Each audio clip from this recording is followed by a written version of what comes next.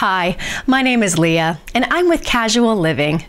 We're the company that helps you vacation in your backyard. I just wanted to take a quick minute to welcome you to Texas and to let you know that we've been working with families in North Dallas for the last 22 years.